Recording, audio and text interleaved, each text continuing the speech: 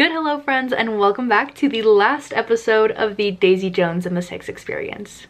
Today I am loaded up on my computer. I'm still kind of working. It's almost 4 p.m. on Friday. I just came back from San Francisco last night. I had such a great time. My team was working GDC and it was great to just be up there for such a fun event and now it's finally time to watch the last four episodes of Daisy Jones and I'm so freaking pumped.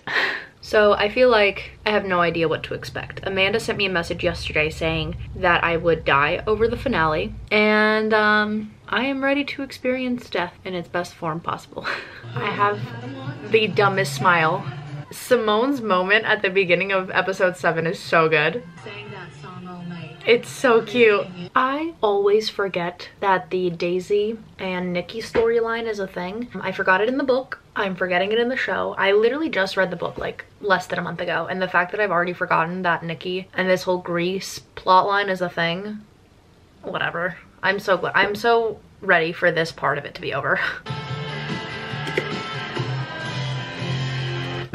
seeing Daisy and Billy on tour after all of their bickering, after all of their craziness is so freaking good. I'm doing my nails right now, so we're gonna do the nails and we're gonna watch at the same time. I love, I loved the ending of episode seven. Thing I will say is I love and hate that Daisy's argument to Billy was you made it seem like I needed you and yet Nicky is on tour with them as if she needs Nicky.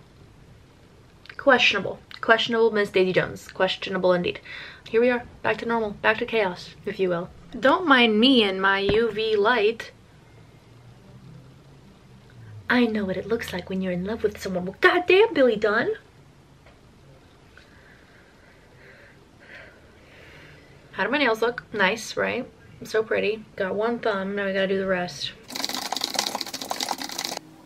I love looking like an absolute nerd. Our team usually doesn't work like a full, full day on Fridays because it's Friday. Nobody wants to work until 6 p.m. on Friday. So long as you get all of your work done and you're prepped and ready for next week and you're available throughout the evening, you know, you'll you, you'll be fine. So here I am, just my thumbnail done on this hand. My sister got me a coffee. Well, I bought it. She just went and picked it up. And I get a call from my manager saying, hey, can we really quickly do this together? Thank God I'm at my computer, right?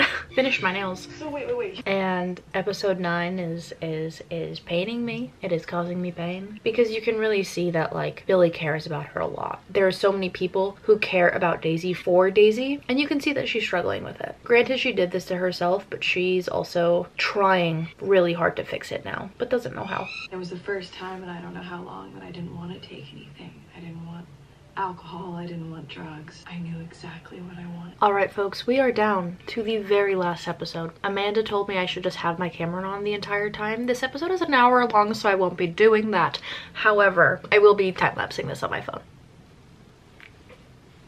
Also, my hair is giving like the kind of Daisy Jones messy vibe and I'm very here for it.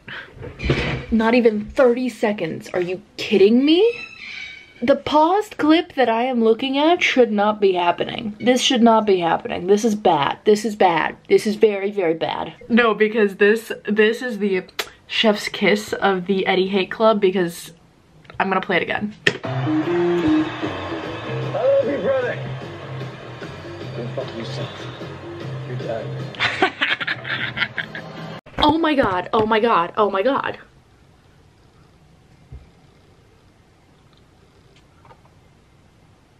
Thirty-nine minutes. Oh my. Stop! Stop! If you want to get out of a suitcase, we've been on tour buses for the next 20 years. Then great. So do I. You've done this. I do. Kids, no kids, I don't care. I love you. This part is fine. Just say you feel the same, and we'll be fine. I'm so sorry. This is who you are. Yes, it is. Lizzie, you have to fight it out. I'm just trying to put some socks on. Like, beautiful performance, but like, Jesus Christ. Oh, baby. I remember that night. She was wearing the No. The Hazelwood. I fell in love. Started a family. I got a wife and kids now who are my whole world. And I've got Karen to thank for that. probably still be pining after her if she hadn't been uh, brutally honest with me that night. I mean, I told him what he needed to hear. But I wasn't being honest with him. But with Billy, it was different. Everything that made Daisy burn made me burn. Everything I loved about the world, he loved about it. Everything I struggled with, she struggled with. We were two halves, and that way you almost never fight with anyone. But at the same time, we were a mess. Two natural disasters we needed to heal. And I don't think we would have done that. I mean, I know we wouldn't have. At least not then. Jules, you know all this. You know, honey.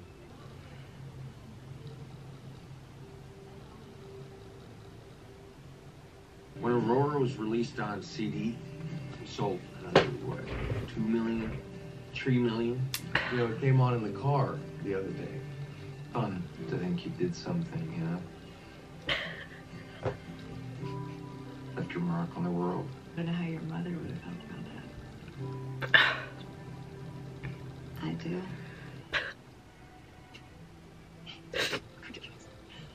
Oh, beautiful. It was a beautiful one.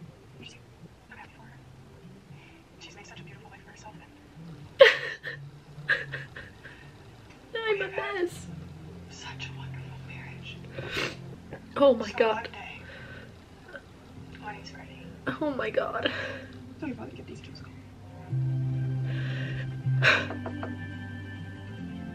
And tell these Jones to answer. At the very least, those two still owe me a song.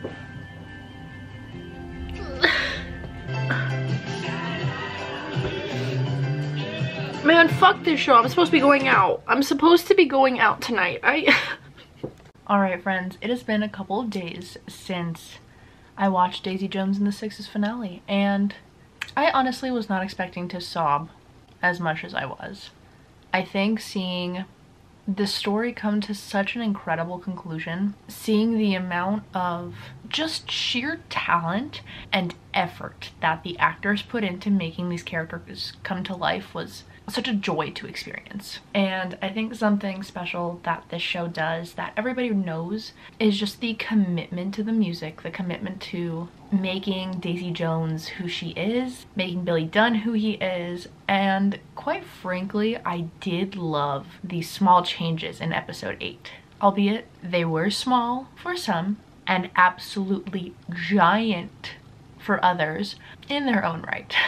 It definitely added another layer of extreme to the show. It showed a level of growth within the characters or a lack thereof.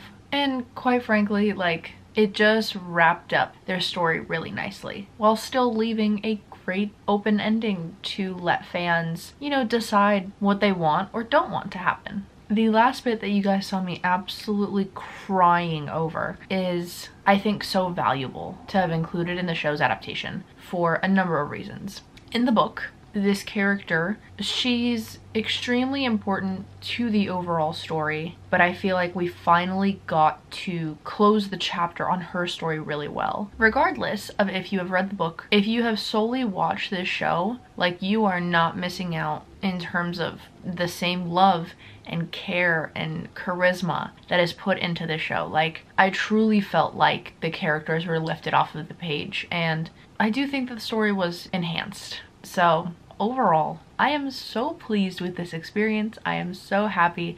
This is one of my favorite adaptations literally of all time. That is it for today's video. I hope you guys enjoyed. If you did, please make sure to leave a like, comment, and subscribe. And until then, I'll catch you in the next one.